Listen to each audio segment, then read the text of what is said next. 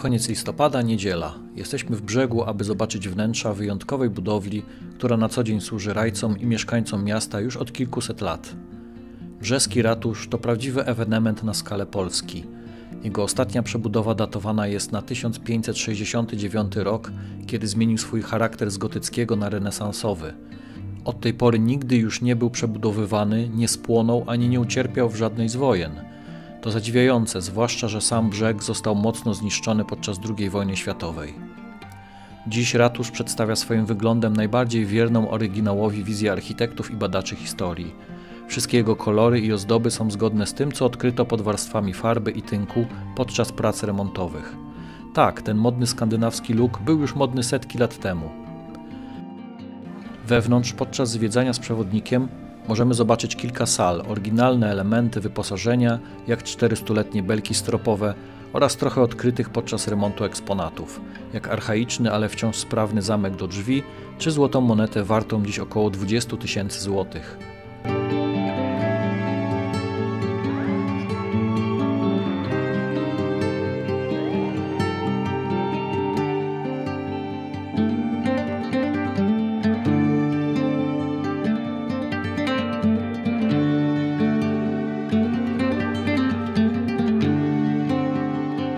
Koniec zostaje najwspanialsze pomieszczenie, w którym przechowywano akta i przyjmowano petentów. Sala z przepięknie malowanymi szafami i przejściem do miejskiego skarbca na długo zapada w pamięć.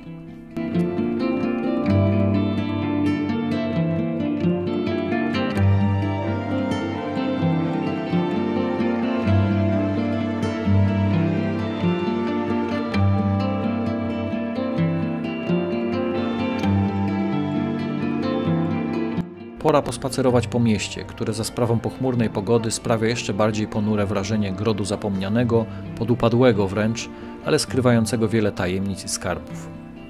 Stare miasto i rynek mocno ucierpiały podczas wojny, ale dobudowane bloki całkiem udanie wpasowują się w historyczną zabudowę. Tuż obok rynku znajduje się monumentalna świątynia, kościół świętego Mikołaja –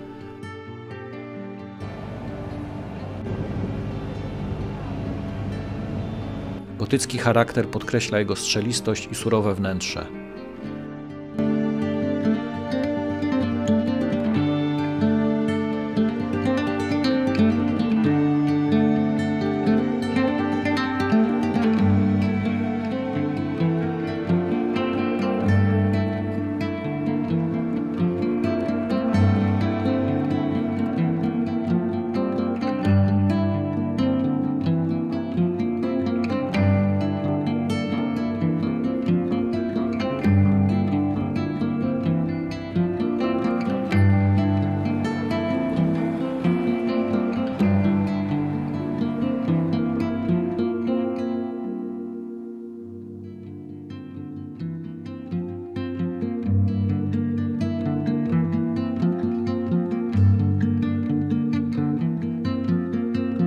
Największym skarbem brzegu jest bez wątpienia zamek Piastów Śląskich.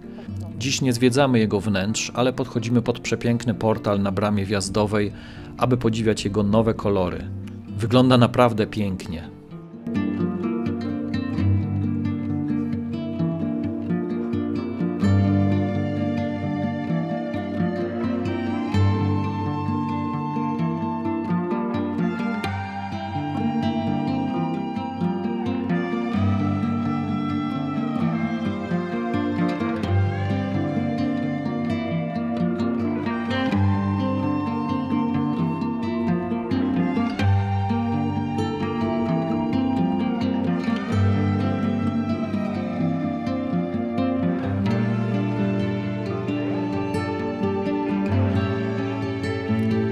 Stojący tuż obok kościół podwyższenia Krzyża Świętego to prawdziwa barokowa perełka.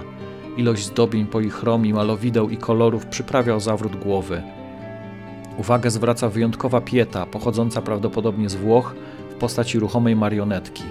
Figura Matki Boskiej może mieć przykład wyprostowaną lub pochyloną głowę. Sprawdźcie sami.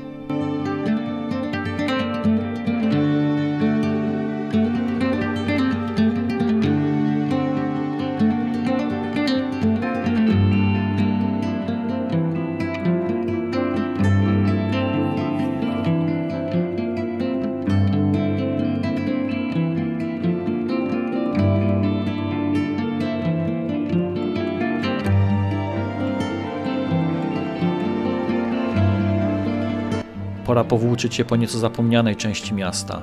Wiele uliczek i obiektów wygląda na porzuconych. Jest tu nawet kościół na sprzedaż.